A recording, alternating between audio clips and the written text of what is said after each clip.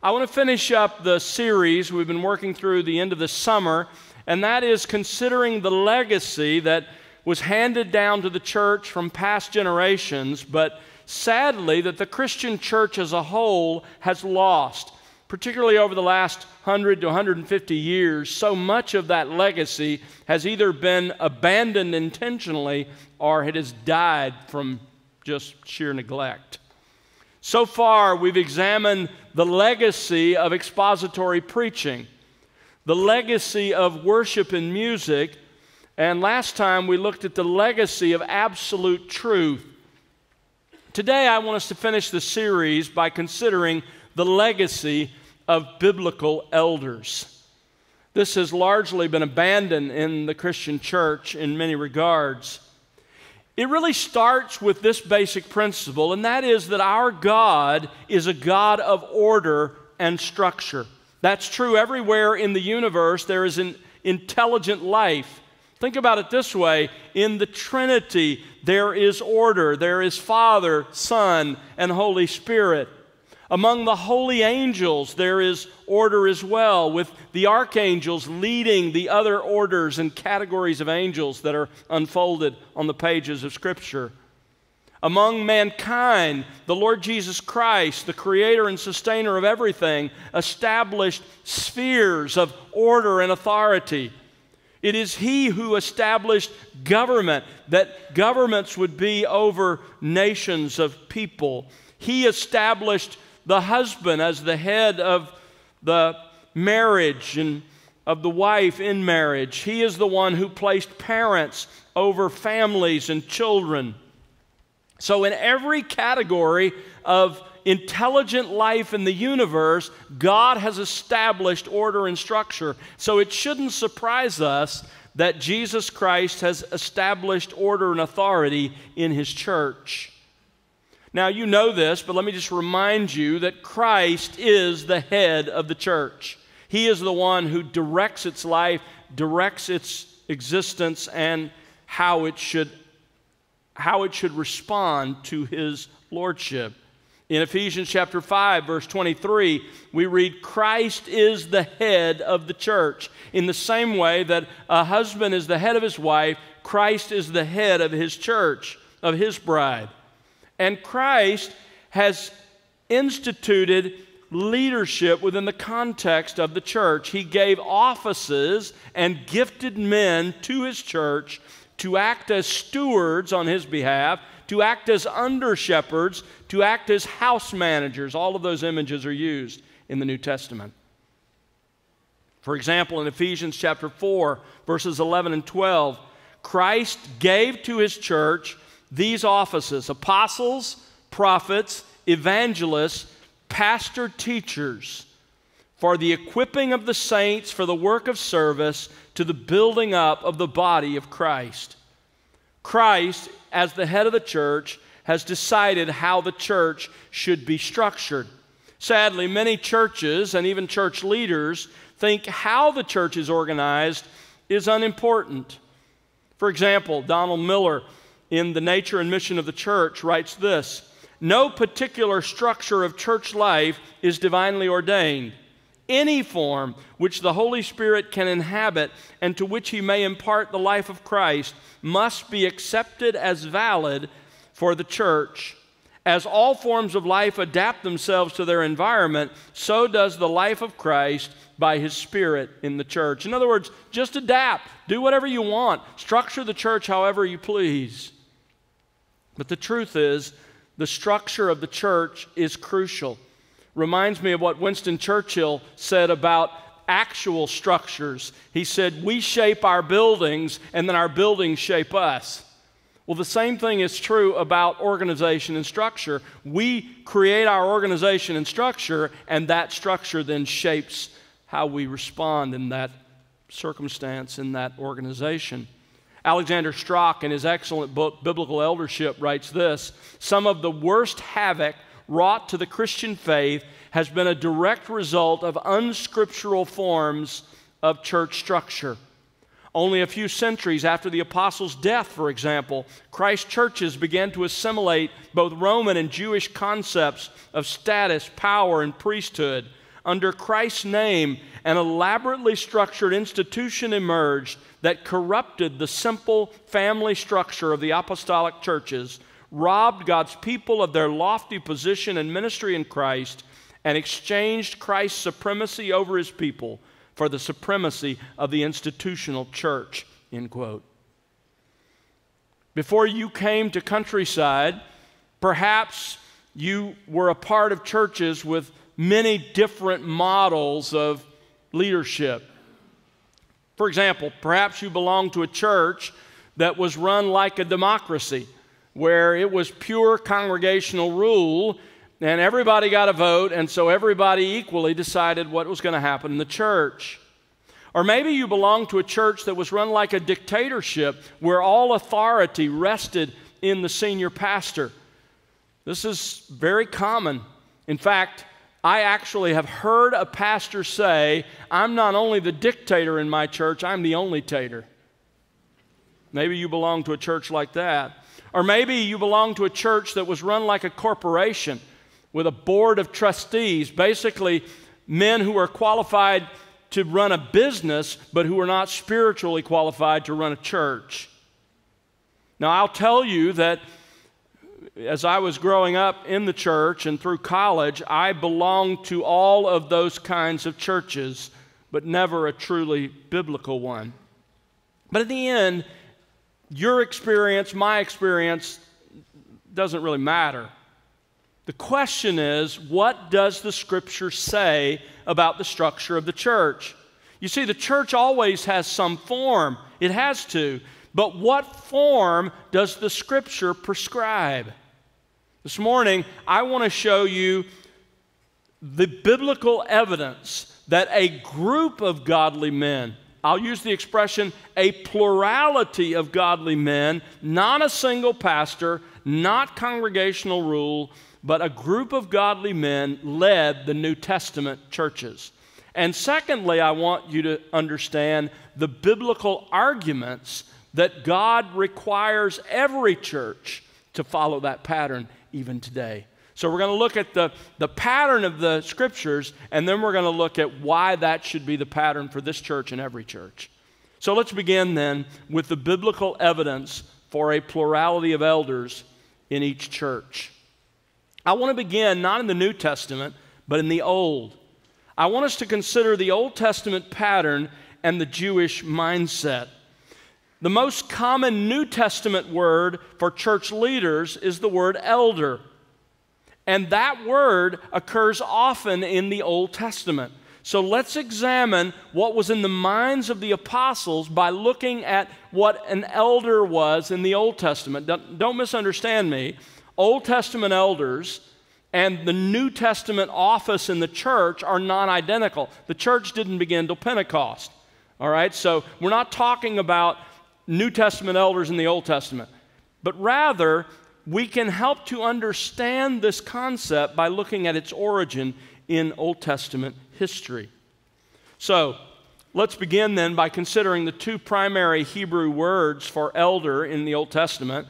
The first is zakain. The word means old, it speaks of mature age. It's usually plural. It occurs 178 times in the Old Testament, about 100 times as a technical term for those in authority. Another word is the word Seb. It's an Aramaic word. After the Babylonian captivity, the people returned to the land in about the 500s BC. They didn't speak Hebrew anymore, they spoke Aramaic. And so, in the books in that period of time, this word Seb is used. It occurs about five times in the Old Testament, all in Ezra after the exile. It means gray headed. So, taking those words, let's look at how the word elder is used in the Old Testament. First of all, there are elders of, of a house or a family. In Genesis chapter 50, verse 7, Joseph went up to bury his father, and with him went up all the servants of Pharaoh, the elders of his household. So, extended families had elders who were responsible for the leadership of that family. In, in Psalm 105, verse 22, it speaks of Pharaoh's elders, that of his household. In 2 Samuel 12, 17, We read of the elders of David's household or his extended family. So there were elders of a house or a family. Secondly, there were elders of a city, that is, those who administered the local government of a city. Just a couple of examples. In Judges 8, verse 14, Gideon captured a young man from the city of Succoth, and he questioned him, and it says the youth wrote down for him the princes of the city of Succoth and its elders, 77 men. So, of a city, there were elders, those who were responsible to lead it. In Ruth chapter 4, verse 9, Boaz approached the elders of the city of Bethlehem about the responsibility regarding Ruth. So, elders of cities. Thirdly, in the Old Testament, you find that there were elders of nations. Now, let's begin outside of Israel. There were actually elders in the nations around Israel. For example, in Genesis 50, verse 7, we read about all the elders of the land of Egypt. In Numbers 22, verse 7, the elders of Moab, the country of Moab, and the elders of the country of Midian. So even the nations around Israel were led by a plurality of elders, older men who were responsible for the leadership of the nation. So let's come then to Israel itself. Israel clearly had elders by the time of Moses. Go back to Exodus chapter 3. Exodus chapter 3, you have here the, the commissioning of Moses to go and lead the people out of Egypt. In Exodus 3:16, God says to Moses, "Go and gather the elders of Israel together and say to them, Yahweh, the God of your fathers, the God of Abraham, Isaac, and Jacob, has appeared to me, saying, I am indeed concerned about you and what has been done to you in Egypt, and I'm going to bring you out of that affliction. Go to chapter 4. Chapter 4, verse 29 Then Moses and Aaron went and assembled all the elders of the sons of Israel, and they spoke the words which God had commanded to them. Now, that's during the time of Moses. We already mentioned, I already mentioned the time of the judges, Boaz and the, the elders of, of the city of Bethlehem, but there were also elders in the nation. When you come to the monarchy, when David and, and Saul and, and Solomon and later the kings of Israel reigned, the elders were still there. Even though there was a king, there were still elders, and they acted as an advisory body to the nation. 1 Samuel chapter 8, verse 4 speaks of all the Israel, all the elders of Israel gathered together and came to Samuel. In 2 Samuel 5 3, all the elders of Israel came to David and anointed him king over Israel. So the elders are the one who anointed David as king over the nation even in those wayward tribes, the 10 northern tribes that were worshiping a false god set up by Jeroboam, even there, there were elders of that nation. In 1 Kings 20, verse 7, the king of Israel called all the elders of the land together. So during the monarchy, you had elders acting as an advisory body. During the exile, during the time that the children of Israel, those 70 years that they were, they were exiled into Babylon, you still had elders. In Jeremiah 29, verse 1, these are the words of the letter which Jeremiah the prophet sent from Jerusalem to the rest of the elders of the exile. So you still had, you still had elders even in the time of the Babylonian exile. And then after the exile, after they returned to Babylon in about the 500s uh, BC, you still have elders. Ezra 6, verse 7 Let the governor of the Jews and the elders of the Jews rebuild this house of God on its site. In Ezra 10, verses 8 and 14, you have the council of the elders of the nation and you have the elders of each city still the same structure after they returned from Babylon. But what about those years between the Testaments, those 400 silent years when synagogues sprung up. When synagogues became the focus of every community's worship, each synagogue had elders. Now, this begins to shape our understanding of when we get to the New Testament. Each synagogue had elders. They were the mainstays of the synagogue. From them, the head of the synagogue was selected. And you see this even in New, the New Testament era. In Luke 7, verse 3, when he heard about Jesus, he sent some Jewish elders from the synagogue asking him to come and save the life of his slave. One other usage in the Gospels and Acts of the expression elders is referring to the Jewish Sanhedrin. In Luke 22 66, the council of the elders of the people assembled and led Jesus away to their council chamber. So occasionally this expression is used of the elders of the nation, meaning the Sanhedrin. Now, here's what I want you to get, and the why, why I took so long to work through that was I want you to understand that clearly in the Jewish mind, when you mentioned elders, you were referring to a plurality of men overseeing some aspect of life. Whether it was a family, whether it was a city, or whether it was a nation, a plurality of men who were responsible for leadership. With that history, then, it would have been natural for the concept of elder rule to be adopted by the first churches, all of which were primarily Jewish.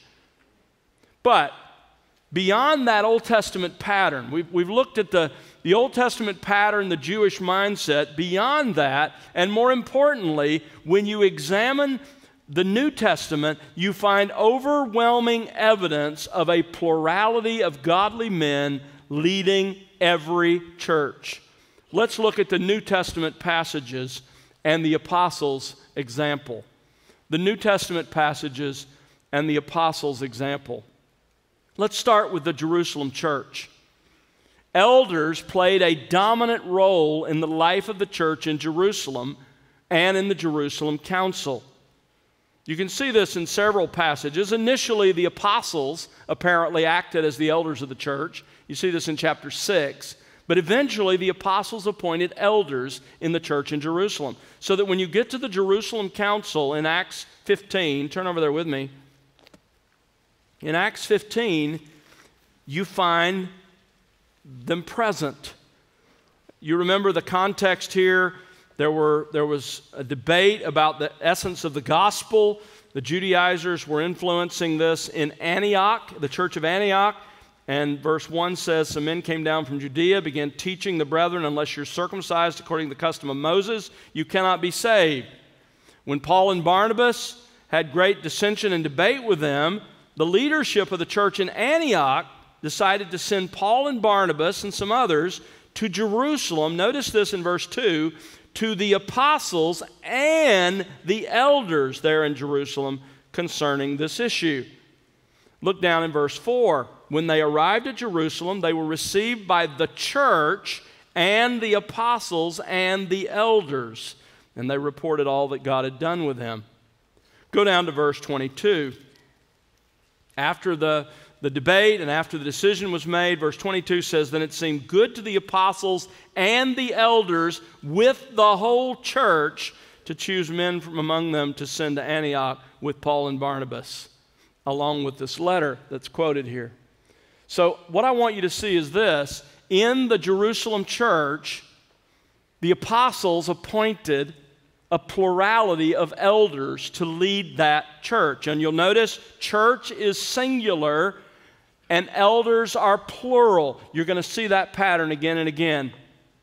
Now, in this chapter, chapter 15, James features prominently because he was the key leader of the church in Jerusalem. And let's see what he says in his letter. Turn to James chapter 5. James chapter 5. James sent his letter to the Jewish believers who had been dispersed out of Jerusalem because of persecution, probably that of Herod in Acts chapter 12. James wrote this letter in the mid 40s AD. It was probably the first New Testament book written. And notice what he says in chapter 5, verse 14 Is anyone among you sick? Then he must call for the elders of the church and they are to pray over him, anointing him with oil in the name of the Lord. Individuals don't belong to a group of churches, individuals belong to one church. And when that individual is sick, that individual is to call for the elders, plural, of the church, singular.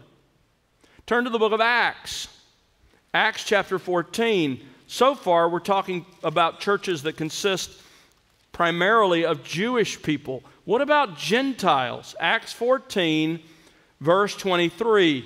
Here's Paul.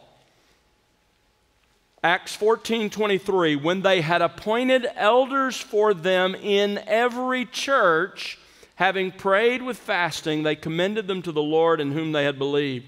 This is the first reference to elders in Gentile churches. It's at the end of Paul's first missionary journey, really at the very beginning of his ministry. And notice he appointed elders, plural, in every church, singular. In fact, the, the way the Greek preposition here is used, you can actually translate it like this having appointed for them church by church elders. It refers to the churches they ministered to in the first missionary journey the church in Antioch of Pisidia, Iconium, Lystra, Derbe. Don't miss this. One of the key steps in organizing a new Gentile church was appointing elders, plural. That's Paul's pattern everywhere he went. In fact, turn over to Acts chapter 20. Acts chapter 20.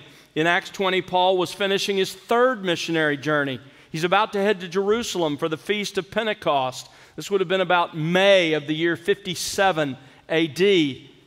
Earlier on this third journey, he had established the church in Ephesus and had stayed there as its pastor for about three years.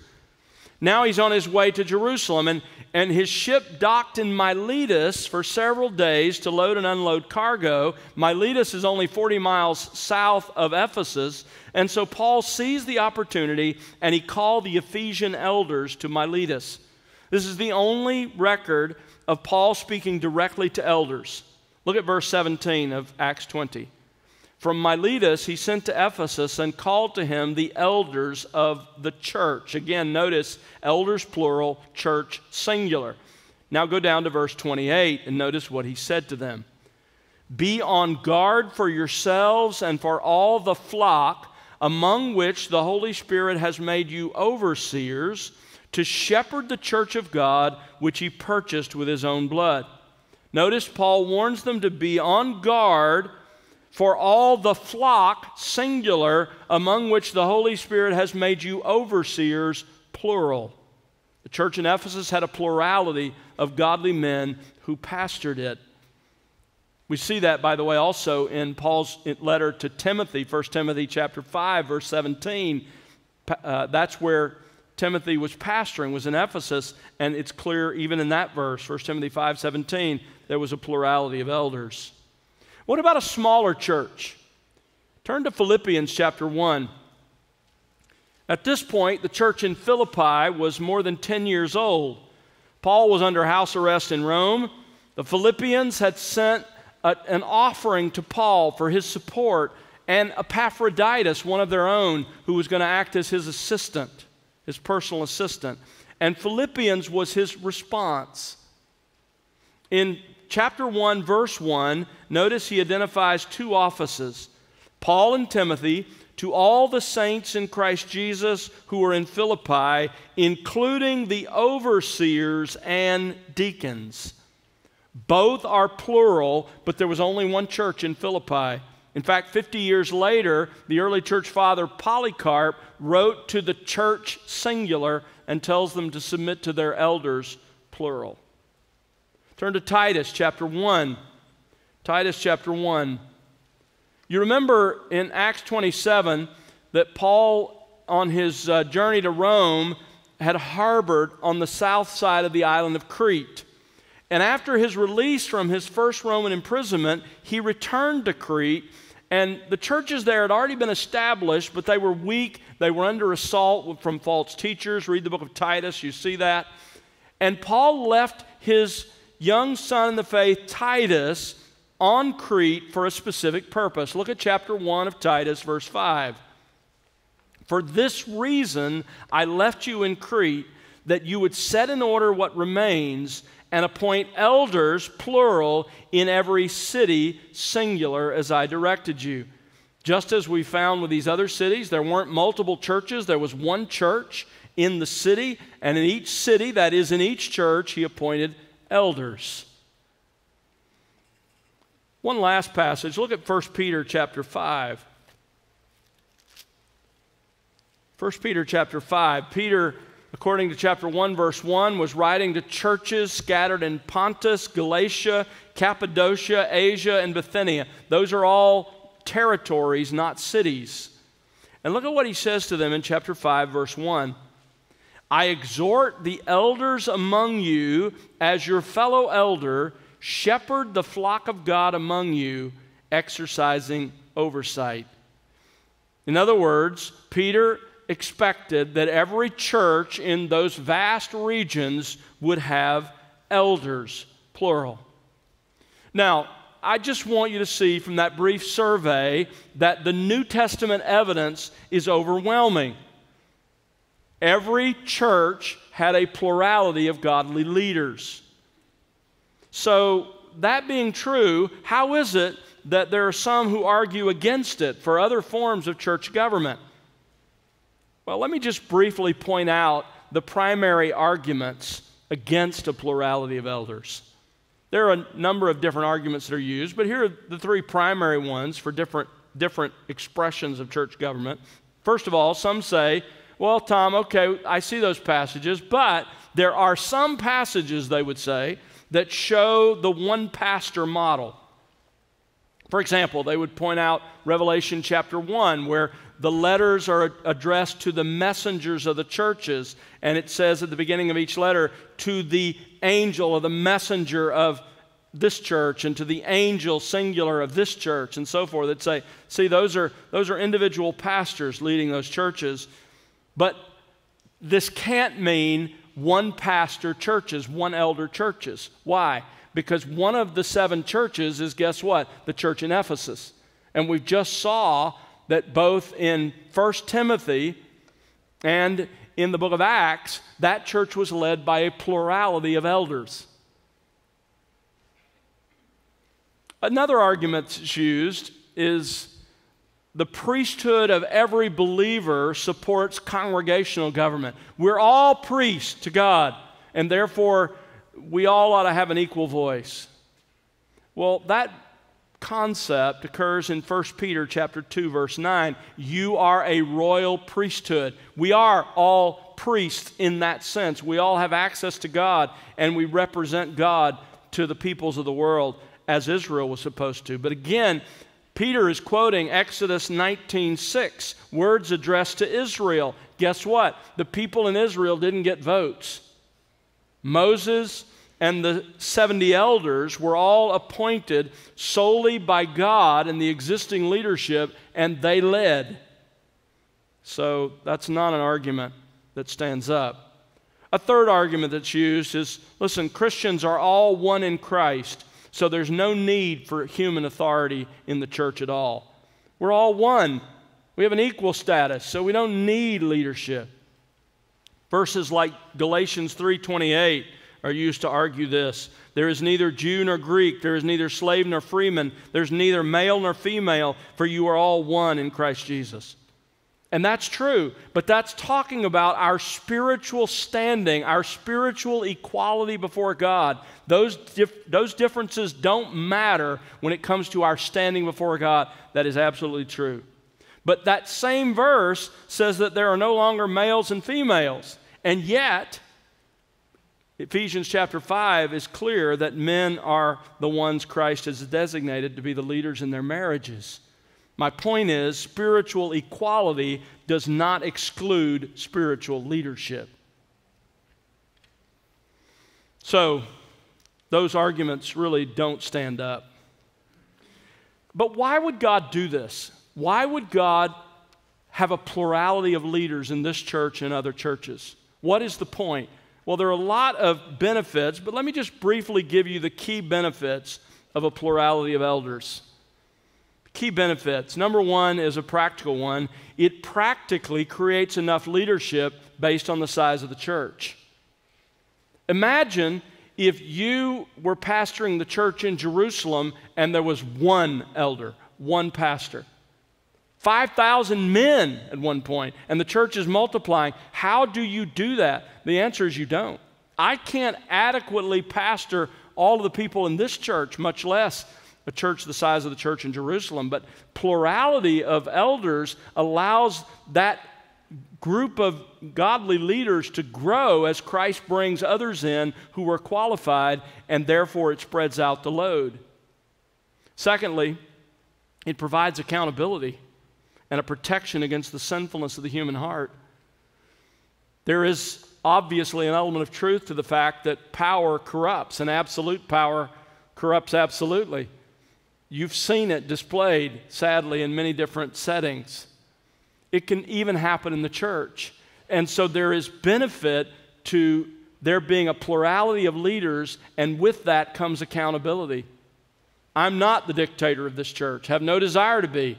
And I am accountable to the other elders in this church, and that is a protection for me. It's a protection for you. It's a protection for the other elders. But thirdly, and I think most importantly, plurality ensures wise counsel and effective decisions. Proverbs talks so much about this. Proverbs 11:14, where there is no guidance the people fall, but in abundance of counselors there is victory. Proverbs 15:22 without consultation plans are frustrated but with many counselors they succeed. As the elders and I remind each other often, our collective wisdom is much greater than our individual wisdom. I'm so glad I'm not responsible to make all of the decisions pertaining to everything in this church because I don't have that much wisdom. But when you have a group of men who've been gifted and qualified by God who come together, collectively, our wisdom makes for a greater wisdom than any of us have individually. There's balance with that, there's, there's God's wisdom in that plan. Elder rule is really a form, when you think about it, of representative government. Once the elders select and test the man, once the congregation affirms the man as biblically qualified and that man is installed as an elder, then that person, the elders now, that person joining with the rest of the elders, represent Christ. He's the chief shepherd, we are under shepherds, and we represent you as one of the congregation. The elders may decide, for the protection of the church, that certain matters require a vote of the congregation. The elders are responsible to lead, but the elders may say, for the protection of this congregation, we're going to have certain things the congregation needs to vote about. For example, our Constitution requires the whole church to vote on changing the doctrinal statement, on buying land, and calling a new senior pastor. Why? for the protection of the church so a small group of people don't change the entire direction of this church. So that can happen. But in the end, the elders are responsible to lead, and they lead even in making that decision, and they govern at, as Christ representatives in this church. That's Christ's plan. Biblically qualified and gifted men lead his church. By the way, for your encouragement, uh, we hope on September 25th to install two additional elders alongside Dusty Burris at the, the church plant, North Lake Bible Church, which will bring them to three elders. And at that point, the elders of this church, who have been the elders of that church to this point, we have decided that when they were financially independent, which they've been since the beginning, and when there were three biblically qualified elders, they would become an entirely independent church, and those elders will lead that church. And Lord willing, that will happen the end of this month. This is Christ's plan. Now, before we leave the biblical evidence, let me briefly just comment on the Greek words for elders. The Greek words for elders, there are three of them. First of all, the word elder itself. The Greek word is presbyteros. Presbyteros Primarily in the New Testament, it's used either of a, a person who's older, just in age, or it's used as a title for someone who's in authority, someone who's responsible. There's no specific age with that second use, but it certainly implies maturity, dignity, and experience. 28 times it's used in the Gospels and Acts, referring to the Sanhedrin. 12 times in Revelation, it's used referring to the 24 elders, representatives of all the redeemed. But 19 times in Acts and the epistles, it identifies a unique group of leaders in the church elder. The second word that's used is overseer. The Greek word is episkopos. Sometimes it's translated bishop. This was a common word in secular Greek culture for local officials, super, superintendents, managers, controllers. In the Septuagint, the the Greek translation of the Hebrew Old Testament, it's used of army officers, tabernacle administrators, supervisors of the temple repair, temple guardians, and even of a city supervisor, what we would call a mayor. It occurs only five times in the New Testament. One time of Christ in 1 Peter 2:25, he's called the overseer of our souls, and four times it's used of church leaders especially in Gentile churches like the one in Ephesus. It's a general word that just means supervisor, manager, guardian. The third Greek word is shepherd. The Greek word is poimen. It's also translated as pastor.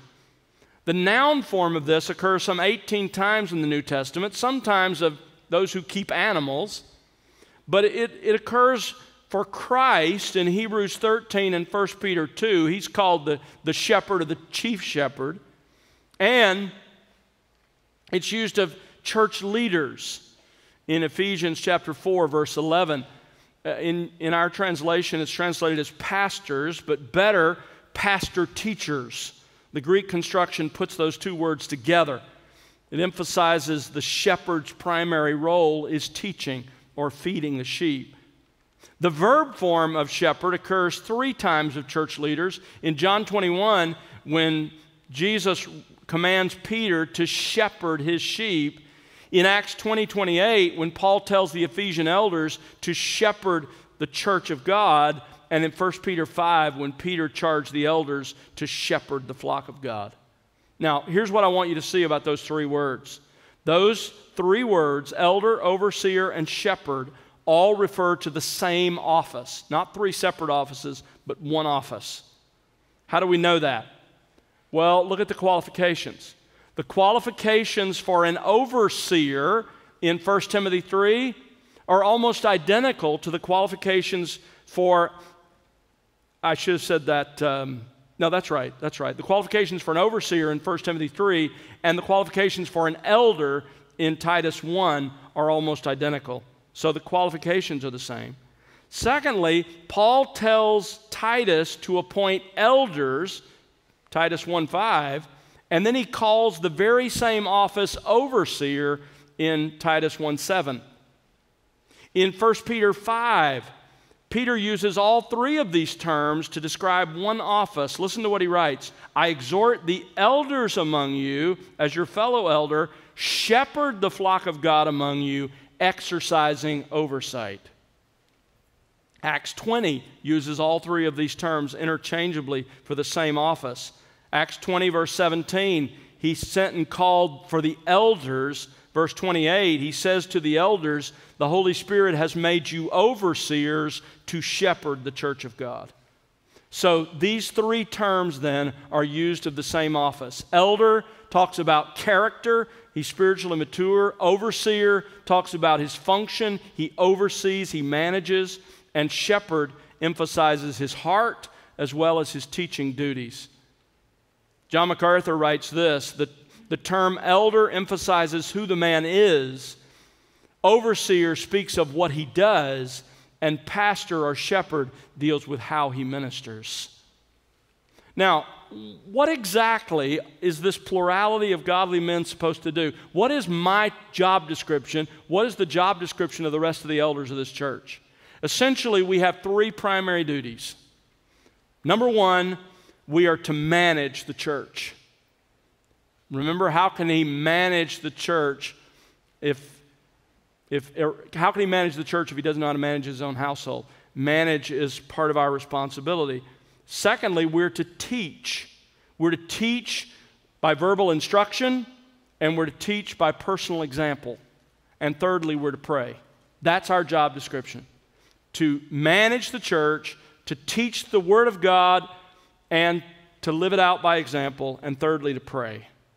Now, the goal of our doing those things is in Ephesians chapter 4, verse 12. It's on the wall out in the foyer. This is our goal. Christ gave us to this church in order to equip you for the work of service so that the entire body is built up. That's our job to manage, to teach, to pray, so that you would do the work of ministry so that the body of Christ here would be built up. So, what I want you to see, folks, is the New Testament pattern is certain and clear. When you look at the New Testament churches, a group of qualified men led the churches.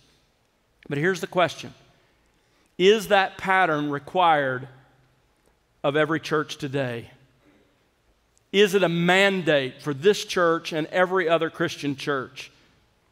Briefly, I want you to consider the biblical arguments for a mandate. It is a mandate, and here is why. There are two reasons. The first reason is because of the purpose of the pastoral epistles. The three letters addressed to pastors 1 Timothy, 2 Timothy, and Titus. They were written to church leaders with instruction about life in the church. 1 Timothy 3:15 says in case I am delayed I write so that you will know how one ought to conduct himself in the household of God which is the church of the living God the pillar and support of the truth. In other words, the pastoral epistles were written to elders like me and to the other elders in this church to say here's what life in the church should be like. And in the pastoral epistles the evidence is clear. Paul insists on a plurality of leadership. In 1 Timothy 5:17, a plurality of leadership in Ephesus and in Titus 1:5, I want you to appoint elders plural in every church singular. If these letters are written to tell us how to conduct life in the church, then how in the world can we improve on what's been commanded? A second argument for a mandate is this the example and command of the apostles. The example as well as the commands of the apostles. You see, the apostles established elder rule in the Jewish churches. We saw that in the Jerusalem church in Acts 15. They established elder rule in the Jewish churches. James expected elder rule in the Jewish churches outside of Jerusalem. In James 5, we already saw that. Thirdly, Paul established elder rule in Gentile churches. We saw that in Acts 14 23. In all of the Gentile churches, he established elder rule. And finally, and most importantly, Paul commanded Titus, and therefore through him, every other church leader to appoint elders in every church.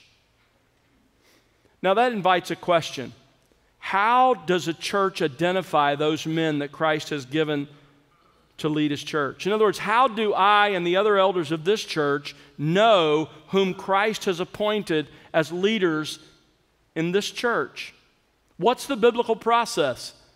It's laid out in 1 Timothy 3. I wish I had time to take you there and walk you through it. Let me just give you the outline. Here's how we know.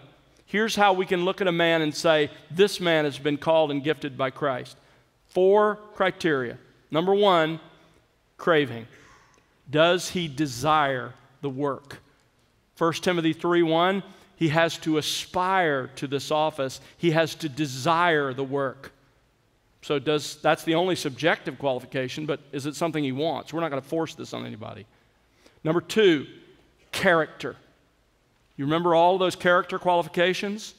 Does this man exhibit these character qualifications, not in perfection, but in direction. Titus 1, 1 Timothy 3. Number three, capacity. He has to have two capacities, two skills 1 Timothy 3 2, he has to be able to teach. He has to be able to explain the Word of God. And Titus 1, he has to be able to correct those who are wrong. And he has to have the capacity not only to teach, but he has to have the capacity to manage. 1 Timothy 3 4 and 5 say that he has to manage the church, but he can't do that if he can't manage his own life well. So look at his life and see if he's qualified. So he has to be able to teach and able to manage. So, craving, does he desire it?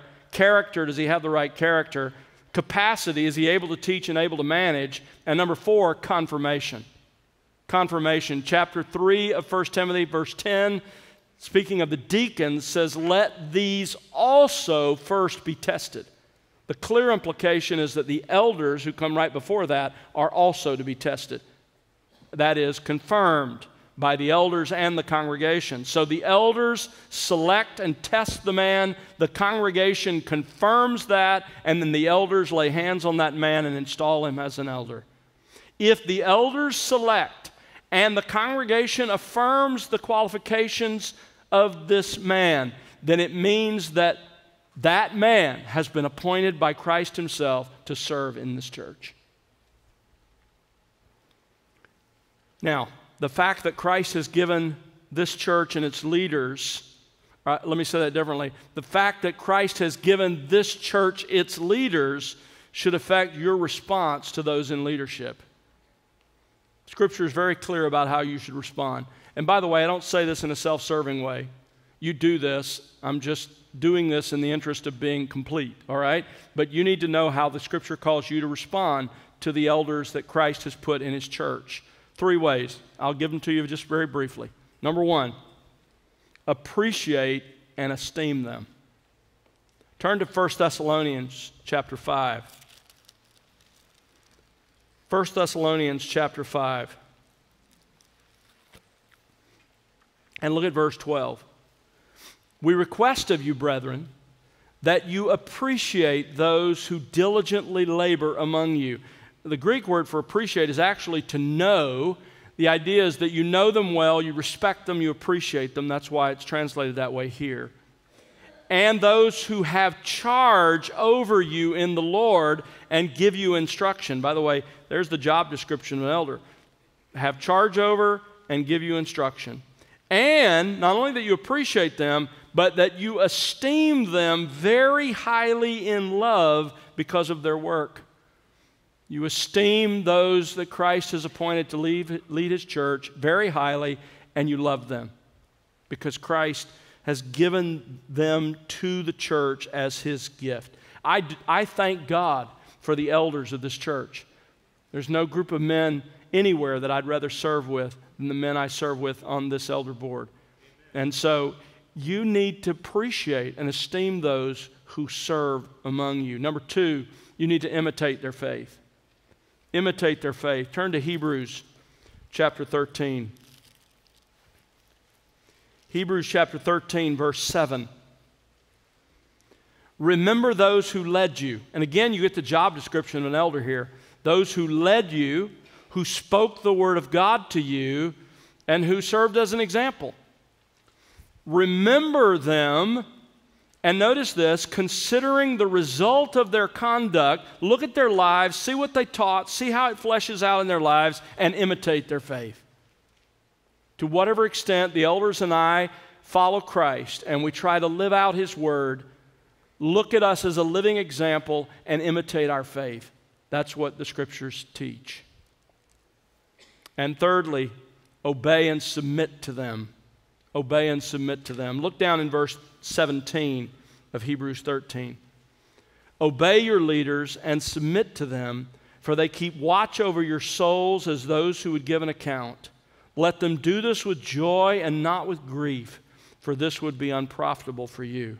Now, don't misunderstand this verse. Unfortunately, as some elders in other places have, and maybe you've been, been abused by this verse. This is not permission for elders to be heavy handed to exercise some domineering authority in all the details of your life. As an elder, my authority stops with the Word of God. I have no authority to tell you to do anything beyond the clear commands of Scripture. I have no authority to tell you where to live, what car to buy, who to marry, unless I can take you to a chapter and verse and say, This is what God commands. If I can do that, the other elders do that, then you're to obey the scriptures that we bring to your light. You're to look at the scripture, you're to obey it, you're to do it. And the submission part of this, I think, has to do with submitting to the elders' decisions regarding life at this church. There are things that we decide that aren't chapter and verse for the management and the life of this community.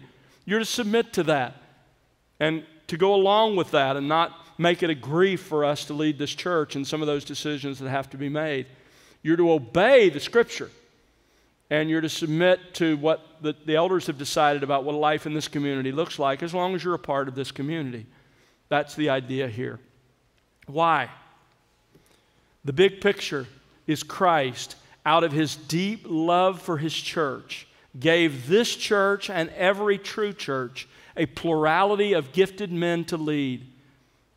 We're not perfect, absolutely not. We make mistakes, of course. We're flawed men. We're sinners saved by grace, just like you are. But this is the plan Christ has for the leadership of his church, and we're all to submit to it. I don't get to decide you know what? I would really like to be the dictator of this church. I'm going to be a dictator. I don't get to decide, you know what? I want a bunch of, of corporate businessmen who may not be spiritually qualified, but who, who are really good at running big organizations. I don't get to decide that. I don't get to decide, you know what? We live in a country where everybody gets to vote. Let's make this a democracy. I don't get to decide that. You don't get to decide that. Christ is the head of his church. He decides the structure of his church and our job is just to try to follow.